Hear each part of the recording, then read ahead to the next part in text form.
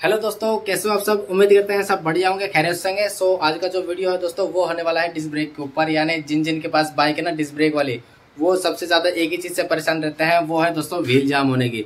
या जो disc brake होता है ना, वो जाम हो जाता है, जैसे ब्रेक का लीवर दबाते हैं, और ब्रेक का लीवर दबाने के बाद जैसे छोड़ देते हैं ना तो ब्रेक हम छोड़ देते हैं, पर दोस्तों, व्हील फ्री नहीं होता है व्हील, यानी जो व्हील होता है, वो जाम ही रह जाता है। तो वो प्रॉब्लम सबसे ज़्यादा आती है डिस्क ब्रेक वाली बाइक में। जैसे कि ये जो बैक साइड में आप देख रहे हैं ना, ये डिस्कवर बाइक है, और इसके अंदर भी सेम यही समस्या है क्या समस्या है कि दोस्तों वही, जैसे ब्रेक दबाया ब्रेक छोड़ने के बाद भी व्हील फ्री नहीं होता है ब्रेक जाम यानी ब्रेक लगे रहते हैं, और जिसकी वजह से पिकअप डाउन हो जाता है माइलेज भी नहीं देती बाइक तो ये समस्या सबसे ज़्यादा इसमें आ रही है तो चलिए करते हैं वीडियो को स्टार्ट बिना टाइम वेस्ट के, और इसका सोल्यूशन बताते हैं कि कैसे करना है। अब दोस्तों, इस बाइक में सबसे पहले ना मैं आपको एक बार व्हील घुमा के दिखाता हूँ कि कितना जाम हो रखा है इसका व्हील देख रहे दोस्तों ब्रेक मैंने छोड़ा हुआ है, ये देखिए मैं आपको दिखाता हूँ ये देखिए। ब्रेक लीवर मैंने छोड़ रखा है। और अब इसको व्हील देखेंगे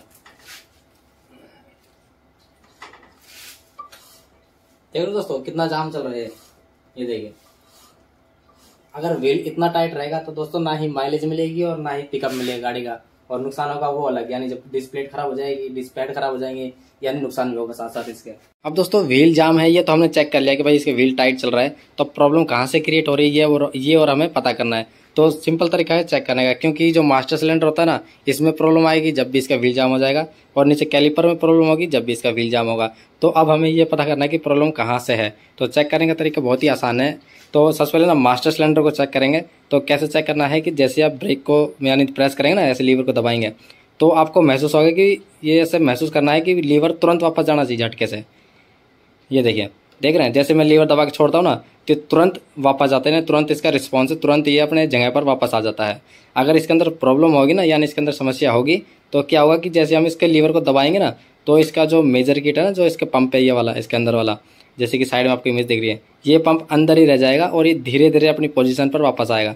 जैसे लीवर दबाया तो वो अंदर ही रह जाएगा और लीवर ये फ्री हो जाएगा थोड़ा सा ये, ऐसे फ्री हो जाएगा और पंप अंदर रह जाएगा और ये धीरे धीरे वापस आएगा। तो इससे क्या होगा कि हमें पता चल जाएगा इसका पंप जाम है और यहाँ से प्रॉब्लम है इसके अंदर तो यहाँ हमें चेक करना है। तो इसके अंदर ये समस्या नहीं है कि इसका लीवर तुरंत वापस आ रहा है।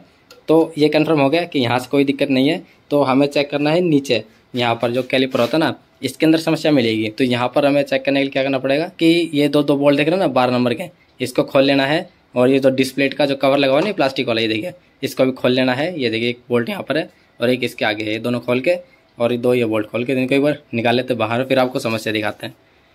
तो सबसे पहले दोस्तों, हमें ये वाला बोल्ट खोल लेना है, ताकि हमें बाद में दिक्कत ना आए। ये बोल्ट खोलने की पाँच नंबर जो एल के बोल्ट है ना, इसको पहले ही खोल लें, जो दूसरी साइड के, दूसरी साइड के बोल्ट खोलने से पहले। ये बस लूज़ कर लेना है देखिए, ठीक है? ये अब खुल गया है। लूज़ करने के बाद, अब हमें इस तरफ़ के बोल्ट खोल लेना जो मैंने आपको बताया है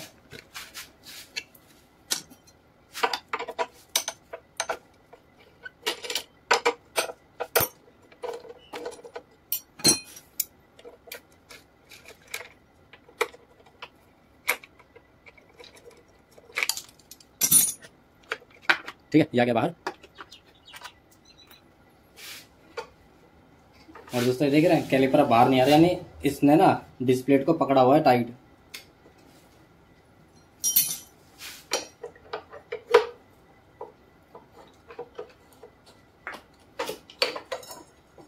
ये देखिए, ये आ गया बाहर, और इसके बाद ना हमें क्या करना है, जो ये बोल्ट लूज किया था ना, पाँच नंबर एल एन का तो इसको भी खोल लेना है।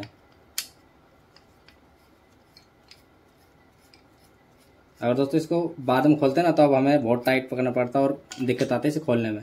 तो पहले लूज़ कर लिया ना तो अब ये आराम से खुल गया। तो इस डिस्पैड बाहर निकाल लेंगे।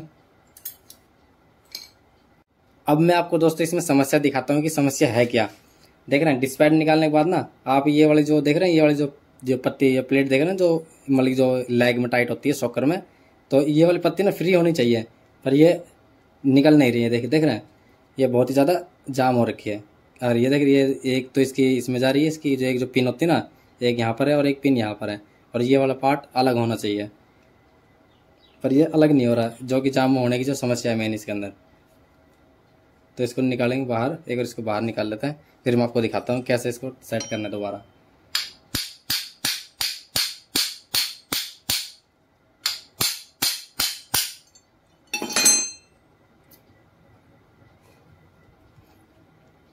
ये बहुत ज़्यादा टाइट है दोस्तों। ये ना हाथ से वैसे ही निकल जाना चाहिए ये ये देखिए। देख रहे हैं, अब अलग हो गया ना। अब ये जो हिस्सा ना जाम होने के कारण समस्या इसी कारण थी। ये जो पिन देख रहे हैं, देखिए। इसके अंदर बिल्कुल भी चिकनाट मॉइस्चराइजर नहीं है और ये सूख गया है, जिसकी वजह से ये जाम हो चुके हैं। तो इसको एक तो ये प्रॉब्लम है और दूसरी ये जो पिस्टन देख रहे हैं ना, ये वाले। इनको भी थोड़ा सा साफ़ करना है। चलिए वो मैं आपको बता दूँ कैसे करना है। तो इसे ना दोस्तों आप थ्रोटल बॉडी से भी क्लीन कर सकते हैं। तो ये आराम से क्लीन हो जाएगी। इस पर स्प्रे करें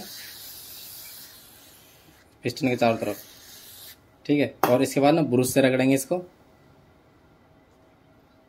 ये देखिए, ठीक है? ब्रुश से ना चारों तरफ़ पिस्टन के ऊपर जो चारों तरफ़ जो मट्टी चिपकी हुई ना, इसके चारों तरफ़, ये देखिए।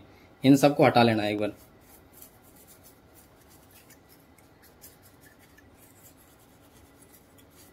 ये क्या होगा दोस्तों? ये जो पिस्टन के अंदर जो मट्टी चिपक रही है ना, ये जैसे अंदर जाता है ना, कोई भी जैसे हम नई नई डिस्पैट डलवाते हैं तो ये जो मट्टी जो चिपकी हुई है, वो साथ साथ अंदर चली जाती है, जिसकी वजह से ना पिस्टन जाम हो जाते हैं।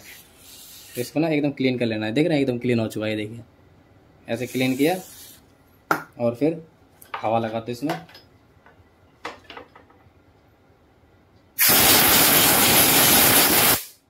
इसके बाद दोस्तों, अब हमें ये पिन साफ़ करनी है। जिसने भी ये कार्बन वगैरह जमा है इसके ऊपर रस्ट लगा हुआ है, सारा हमें उतारना, बिल्कुल प्लेन करना है। इसको जैसे कि ये प्लेन है, इसकी तरह। तो आप कोई भी बारीक रेग माल ले सकते हैं। इस तरह का। और इसको अच्छे से बिल्कुल क्लीन कर लेना है। ताकि एकदम फ्री में जाना रहे।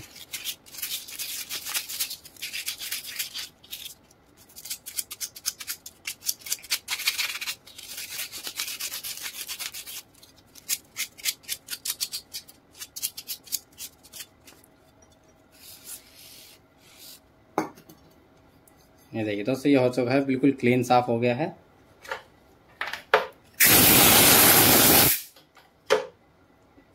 अब इसे दोस्तों अब लगाना कैसे है? ऐसे नहीं लगाना है। और इसके लिए ना एक स्पेशल ग्रीस आती है जो कि स्पेशल डिस्क ब्रेक के लिए होती है। वो इसमें लगानी है। हमें नॉर्मल ग्रीस या मोबिल वगैरह नहीं लगाना है, ठीक है? तो इसमें लगानी ये वाली ग्रीस जो कि स्पेशल डिस्क ब्रेक के लिए होती है। ये जो देख रहे हैं ना, ये आपको मिल जाएगी। जैसे जो किट होती है ना, ये देखिए कैलिपर रबड़ किट होती है, इसके साथ आपको मिल जाएगी। तो ये लगानी है हमें इसमें।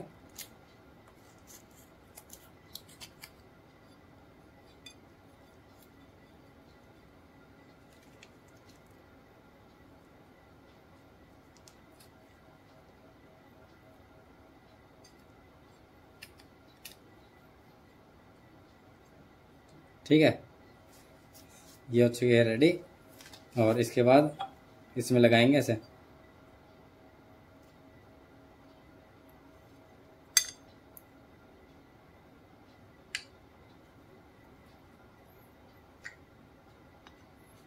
ये देखिए, अब ये फ्री हो चुका है. अब ये फिट हो जाएगी आराम से. एक मिनट, रबड़ निकल गया. इसको रबड़ लगा देते हैं फिर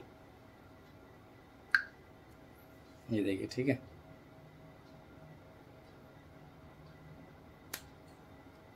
ये देखिए ना, देखिए, ये देखिए रहे अब अब हाथ से ही ऊपर नीचे हो रही है। जब क्या था कि निकल भी नहीं रही थी, अभी हाथ से ही ऊपर नीचे आराम से हो रही है, देखिए। तो ये फ्री प्ले होनी चाहिए इसके अंदर बहुत आराम से हो। ठीक है, और अब इसको फटाफट कर देते हैं फिट ये पत्ती वगैरह लगा के डिस्पैड वगैरह डाल के तो फिट फिट करते हैं।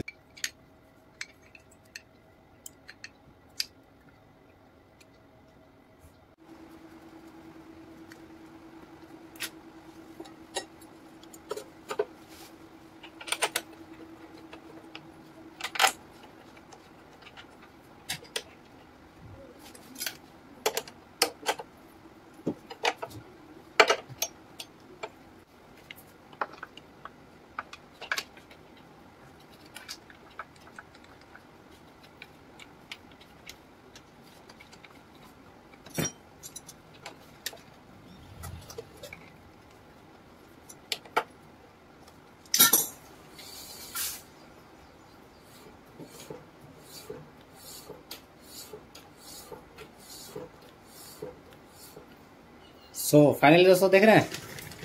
भेल अब जाम नहीं हो रहा बिल्कुल भी। ये देखिए। एकदम फ्री ये दबाया ब्रेक ये देखिए। सो so, दोस्तों आपने देखा कितना इजी था इस प्रॉब्लम को सॉल्व करना। तो कभी भी आपके पास इस तरह से प्रॉब्लम आए ना चाहे वो आगे का व्हील या फिर पीछे का व्हील हो तो इस तरह से जो मैंने आपको तरीका बताया, इस तरह से करके आप प्रॉब्लम को सॉल्व कर सकते हैं। तो वीडियो में कुछ सीखने लायक मिला हो तो वीडियो को लाइक शेयर ज़रूर करें चैनल को सब्सक्राइब करें।